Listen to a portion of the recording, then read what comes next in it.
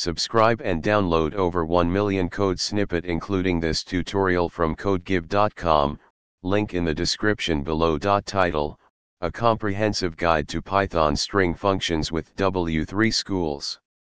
Introduction Python, a versatile programming language, offers a robust set of string functions that empower developers to manipulate and process text efficiently. In this tutorial, we will delve into the essential Python string functions, referencing the documentation provided by W3 Schools for comprehensive learning. Each function will be explained, accompanied by code examples for practical understanding. The len function is used to determine the length of a string, indicating the number of characters it contains.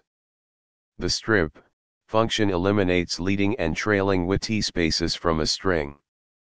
These functions convert a string to lowercase and uppercase, respectively. The replace function substitutes occurrences of a specified substring with another substring. The split function divides a string into a list based on a specified delimiter.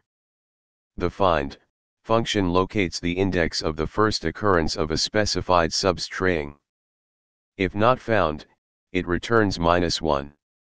The count function tallies the number of occurrences of a specified substring within a string. Conclusion These fundamental Python string functions provided by W3 schools form the building blocks for effective string manipulation in Python programming.